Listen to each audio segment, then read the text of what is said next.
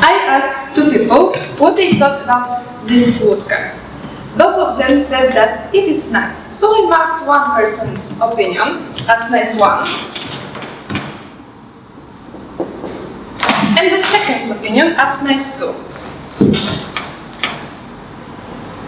And now I can show you what this presentation will be like. What does it mean? It means that all of us, despite the fact we use the same adjectives, have completely different feelings. Mm, why? Because each of us in the whole world is an individual person and has an individual soul. That's why this world is so amazing. Every day we can explore a new world, which is a new person. But more important than knowing somebody is knowing ourselves. Because this is the essence of creating relations. It's said that you have to love yourself to love somebody else.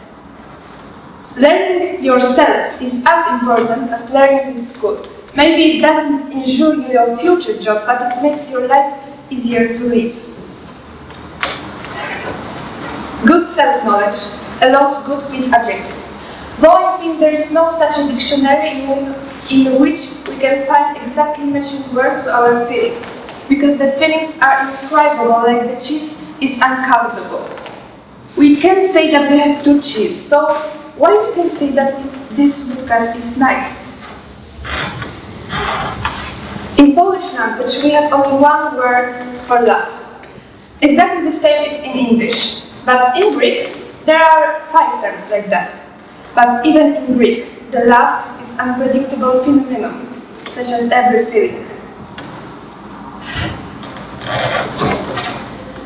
Um, surely you will ask me, how can I express my emotions?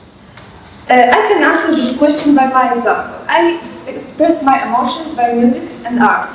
Because I think the proper sound on the piano or no existent shade of color show better my feelings than my words. And when I have to sing something on stage, all of my uncertainty comes to light.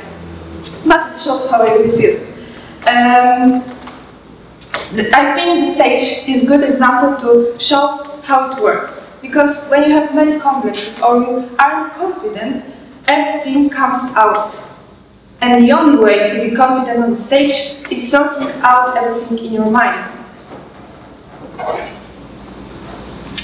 Of course, that's only about me.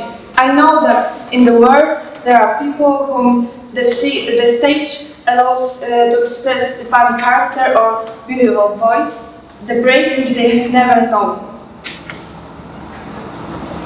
The artist chose, uh, the artist choose uh, art to express their emotions, but in the world there are as many ways to express emotions as many people living in our planet, and it only depends on how they feel and what they are.